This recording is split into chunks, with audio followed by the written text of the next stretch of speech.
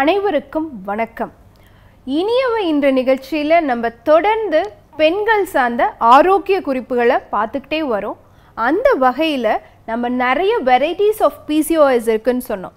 நம்மளோட பதிமூன்று பதினான்கு வருட அனுபவத்தில் வெரைட்டிஸ் ஆஃப் பிசிஓஎஸ் நிறைய இருக்குது அதில் முக்கியமாக நான்காவது வெரைட்டி ஆஃப் பிசிஓஎஸ் வந்து அட்ரினல் பிசிஓஎஸ் அப்படின்னு நம்ம சொல்கிறோம் ஏன்னா நிறைய இன்சுலின் ரெசிஸ்டன்ஸ்னால வரக்கூடிய PCOS pill induced PCOS prolactin thyroid ஹார்மோனால் வரக்கூடிய பிசிஓஎஸ் இது எல்லாத்தையும் தாண்டி இந்த அட்ரினல் வெரைட்டி ஆஃப் பிசிஓஎஸ்க்குன்னு ஒரு ஸ்பெஷாலிட்டி இருக்குது என்ன காரணம்னு பார்த்தீங்கன்னா மற்ற வெரைட்டி ஆஃப் பிசிஓஎஸ் பேஷண்ட்ஸை வந்து ஈஸியாக ட்ரீட் பண்ணிடலாம். என்ன காரணம்னா அவங்க ஏதாவது ஒரு விதத்தில் வெயிட்டாக இருப்பாங்க. ஸோ நீங்கள் வந்து உடல் எடையை குறைச்சிங்க அப்படின்னு சொன்னால் உங்கள் ஹார்மோன்ஸை ரெகுலேட் பண்ணால் பிசிஓஎஸ் உங்களுக்கு கண்ட்ரோல் ஆகிடும் அப்படின்னு நம்ம சொல்லிடலாம். ஆனால் இந்த அட்ரினல் வெரைட்டி ஆஃப் பிசிஓஎஸில் பார்த்தீங்கன்னா ரொம்ப கம் குறைவான பேர் தான் வெயிட்டாக இருப்பாங்க. மீதி எல்லாருமே ஒல்லியாக இருப்பாங்க.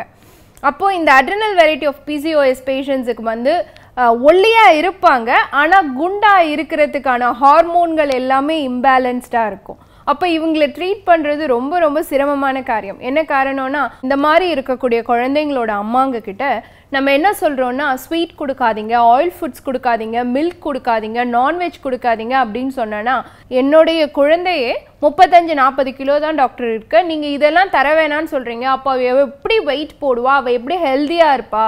அப்படின்னு கேட்பாங்க. ஸோ இவங்களை டேக்கிள் பண்ணுறதே பெரிய விஷயமா இருக்கும்.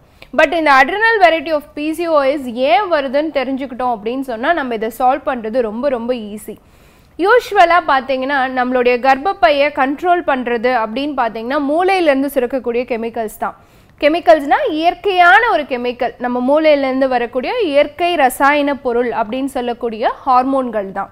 இந்த ஹார்மோன்கள் மெயினாக ஃபர்ஸ்ட் பெரிய ஏரியான்னு பார்த்தோன்னா ஹைப்போதலாமஸ் அங்கே இருந்து அடுத்த ஏரியாவான பிட்யூட்டரிக்கு வரும். அந்த பிட்யூட்டரியில இருந்து நம்மளுடைய தைராய்டுக்கு வந்துட்டு தைராய்டு வழியாக நமக்கு வந்து ஓவரிஸ்க்கு வந்து சேரக்கூடிய ஒரு சுழற்சியை நம்ம பார்க்குறோம். அதெல்லாம் வந்து மருத்துவர்கள் ஒவ்வொரு சைக்கிளாக பார்த்துக்கிட்டே வராங்க. ஒவ்வொரு வருஷத்துக்கும் ஒவ்வொரு வருஷத்துக்கும் நிறைய சேஞ்சஸ் வந்து இதில் வந்துக்கிட்டே இருக்குது ஏன்னா மூளைக்கும் கர்ப்பப்பைக்கும் இருக்கக்கூடிய ஒரு தொடர்பு வந்து பார்த்திங்கன்னா நிறைய எலக்ட்ரிக் சர்க்கியூட்ஸ் ஒவ்வொரு தடவையும் ஒவ்வொரு சர்க்கியூட் வந்து நம்ம ஐடென்டிஃபை பண்ணுற மாதிரி இருக்குது ஏன்னா முதல்ல என்ன சொன்னாங்க? ஹைப்போதலமோ பிட்யூட்டரி ஒவேரியன் ஆக்சஸ்னு சொன்னாங்க. அடுத்து என்னாச்சு? இல்லை இல்லை. இந்த மென்ஸ்ட்ரல் சைக்கிளை கண்ட்ரோல் பண்ணுறது தைராய்டுக்கும் ஒரு பெரிய ரோல் இருக்குன்னு சொல்லிட்டு ஹைப்பத்தலமோ பிட்யூட்டரி தைரோ ஒவேரியன் ஆக்சிஸ்னு சொன்னோம். இன்னைக்கு பார்த்தோன்னா அட்ரினல் பெரிய வேலை பார்க்குது. அதனால hypothalamo pituitary thyro adreno ovarian ஆக்சிஸ்னு சொல்கிறோம் ஸோ இந்த அட்ரினல் வெரைட்டி ஆஃப் பிசிஓஎஸில் இந்த சர்க்கியூட் தான் பாதிக்கப்படுது. ஏன்னா இந்த அட்ரினல் ஹார்மோன் வந்து நிறைய சுரக்குது. சுகரை கண்ட்ரோல் பண்ணும். அதுக்கடுத்து பார்த்தீங்கன்னா உங்களுடைய கொலஸ்ட்ராலை கண்ட்ரோல் பண்ணும். உங்களோட யூரின் அவுட்புட்டை கண்ட்ரோல் பண்ணும். இது எல்லாமே இந்த அட்ரினல்ங்கிற ஹார்மோனுக்கு இருக்குது ப்ளஸ் உங்கள் ஸ்ட்ரெஸ்ஸை கண்ட்ரோல் பண்ணும். இது எல்லா வேலையும் இதுக்கு இருக்குது ஆனால் பிசிஓஎஸில் இதுக்கு என்ன சம்மந்தம் அப்படின்னு பார்த்தோன்னா இந்த அட்ரினல் ஹார்மோன் என்ன பண்ணுதுன்னா சில செக்ஸ் ஸ்டீராய்ட்ஸை செக்ரீட் பண்ணுது. அப்படின்னா என்ன அர்த்தம்னா நம்ம இனப்பெருக்கத்துக்கு சம்மந்தமான ஹார்மோன்களை சுரக்குது. ஸோ ஒவேரியன் ஹார்மோன்ஸையும் மேல் சம்மந்தமான ஹார்மோன்ஸையும் ஆண்கள் சம்மந்தமான ஹார்மோன்ஸையும் சுரக்கக்கூடிய வேலை இந்த அட்ரினல் கிளாண்டுக்கு உண்டு. அந்த மாதிரி DHEA DHEASO four androstenedione androsterone estrogen estrone இந்த மாதிரி நிறைய ஹார்மோன்ஸ் வந்து இந்த அட்ரினல் கிளாண்ட் வந்து செக்ரீட் பண்ணுது. ஸோ நம்ம நிறைய ஸ்ட்ரெஸ் ஆகிறோம். குறிப்பாக பார்த்தீங்கன்னா இந்த காலகட்டத்தில் இந்த நைன்த்து டென்த்து லெவன்த்து டுவெல்த் படிக்கக்கூடிய ஒரு குழந்தைங்களுக்கு வந்து ஒரு பியர் ப்ரெஷர் இருந்துக்கிட்டே இருக்குது நிறைய மார்க்ஸ் ஸ்கோர் பண்ணோம். டென்த்தில் நல்ல ஸ்கோர் பண்ணணும் டுவெல்த்தில் நல்ல ஸ்கோர் பண்ணோம். அதுக்கப்புறம் பார்த்தோன்னா நீட் எக்ஸாம் நல்லா எழுதணும். இந்த மாதிரி அவங்களுக்கு நிறைய நம்ம வந்து ப்ரெஷர் கொடுத்துட்டே இருக்கோம். ஸோ இந்த ஸ்ட்ரெஸ் அதிகமாகும் பொழுது அந்த ஸ்ட்ரெஸ் ஹார்மோனுடைய லெவல் அட்ரினலின் நார் அட்ரினலின் லெவல் மாறும் பொழுது இந்த ஓவரீஸ்லேருந்து செக்ரேட் ஆகக்கூடியதும் நம்மளுடைய அடிப்போஸ் ஃபேட்லேருந்து செக்ரேட் ஆகக்கூடிய ஹார்மோன்களுடைய அளவு மாறுறதுனால இவங்களுக்கு இர்ரெகுலர் பீரியட்ஸ் வரதுக்கான சான்சஸ் இருக்குது ஸோ இந்த அட்ரினல் வெரைட்டி ஆஃப் பிசிஓஎஸ் பேஷண்ட்ஸுக்கு முக்கியமான மேஜர் சிம்டம் என்னன்னு பார்த்தீங்கன்னா மேல் ஹார்மோன் லெவல் ரொம்ப அதிகமாக இருக்கிறதுனால அவங்களுடைய ஃபேஷியல் ஹேர் க்ரோத்ஸ் பாடியோட ஹேர் க்ரோத்ஸ் அவங்க செஸ்டில் ஹேர் க்ரோத்ஸ் எல்லாம் பெண்களுக்கு ரொம்ப அதிகமாக இருக்கும். ஸோ ஆண்களை மாதிரியே வந்து முகத்தில் நிறைய முடி வளர்ச்சிகள் வந்து பெண்களுக்கு காணப்படும். இதை வச்சே அவங்களுக்கு வந்து அட்ரினல் வெரைட்டி ஆஃப் பிசிஓஎஸாக இருக்கலாமோ அப்படின்னு வந்து டாக்டர்ஸ் டவுட் பண்ணுறதுக்கான சான்சஸ் இருக்குது ஸோ அப்போது ஸ்ட்ரெஸ் லெவலை கண்ட்ரோல் பண்ணோம் குழந்தைங்களுக்கு நம்ம கொடுக்கக்கூடிய ப்ரெஷர் அவங்க ஹார்மோன்ஸை இம்பேலன்ஸ் பண்ணி அவங்க பீரியட்ஸை டிஸ்டர்ப் பண்ணி அவங்களுடைய அகாடமிக் பெர்ஃபார்மன்ஸை வந்து பெரிய அளவில் கொடுத்துறாது.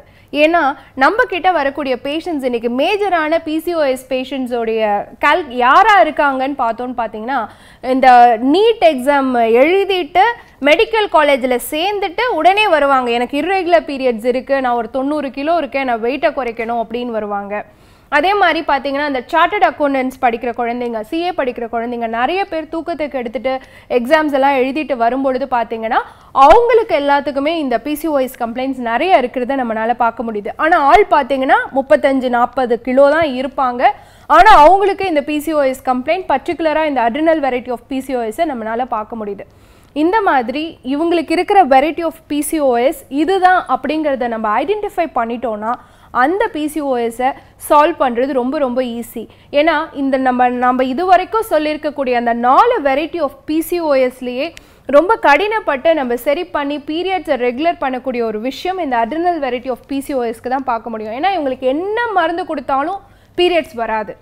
அதை நம்ம ரொம்ப கஷ்டப்பட்டு அவங்க ஸ்லீப்பை ரெகுலேட் பண்ணி அவங்களுடைய உடலை ஒழுங்குபடுத்தி அவங்களுடைய ஃபுட் ஹேபிட்ஸை ரெகுலரைஸ் பண்ணி அவங்க ஸ்ட்ரெஸ்ஸை நார்மலைஸ் பண்ணினா மட்டும்தான் அவங்க பீரியட் சைக்கிளை நம்ம ரெஸ்யூம் பண்ண முடியும்.